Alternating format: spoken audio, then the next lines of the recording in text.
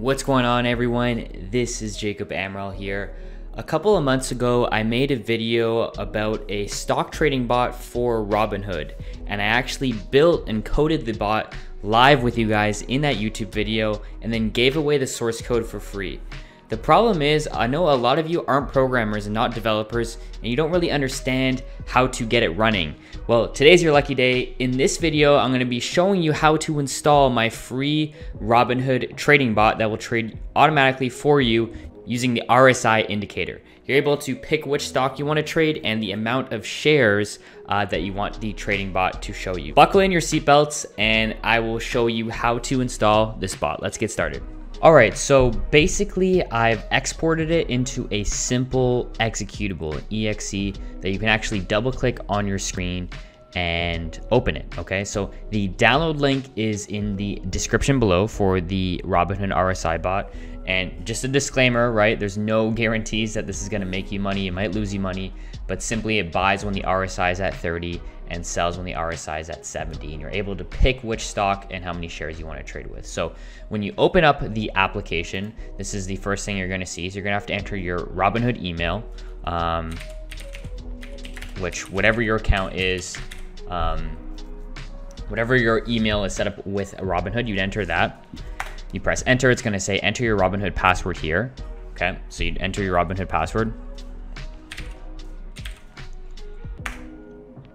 And then it's gonna ask you for, basically it's gonna say new, no 2FA given, which means no two-factor given email code, okay? So you should get an email now um, with a code for your two-factor. And after you enter that, the bot will continue and ask you for a symbol and the quantity. Now, if you're not getting an email code, what I recommend is turning off your either a turning off your SMS or text message two factor in your Robinhood settings, and you do that by logging into Robinhood and going to account settings, or try changing your email in your account settings as well. I found that sometimes I have to change my email and it resets, and then I start getting two factor codes. Okay, so once you get your code in your email, uh, usually it's a five or six digit number, um, you'd enter it here now, obviously mine's incorrect because I'm not showing you my login information, but let me just forward the video to get past that. After that, it's gonna say enter the symbol you want to you want the trading bot to trade. So you could say you wanted to trade Apple, you type in AAPL, and then it'll say enter the quantity and shares you want the bot to trade. So you could just type in one. So it'll trade one share of Apple when the RSI hits 30 and then sell it when the RSI hits 70, okay? And now you can run as many bots as you want to. Obviously, running one instance, one executable will uh, only be able to uh, trade that ticker. But if you open 10 of them, you could open, you could essentially run 10 bots um, with 10 different tickers. Now, once again, um, the Robinhood API is not officially supported.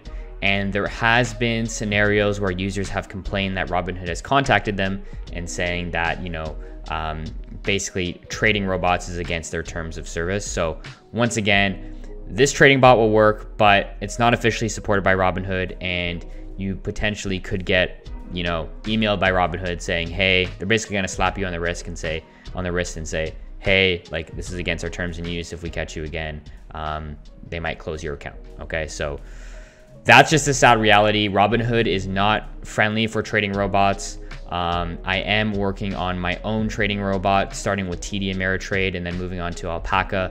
Um, but Robinhood and, and other platforms like Webull, um, they're not really friendly and they, are not really friendly to developers. And that's part of their business plan, right? Um, they want to, you know, their, their goal is to sell because it's commission free. They sell your data to other high frequency trading firms and hedge funds. And when you run trading bots and say you're trading quite a bit, um, you know, that could mess up their data feed, I guess.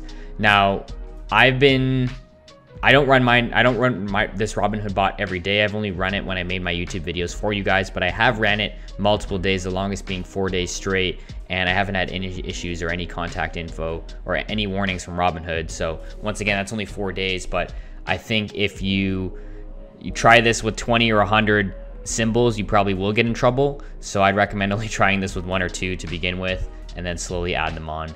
Um, but I wanted to give something for free to you guys and provide as much value as I can with my YouTube videos. And I hope this free uh, auto trading robot uh, for Robinhood can help you out.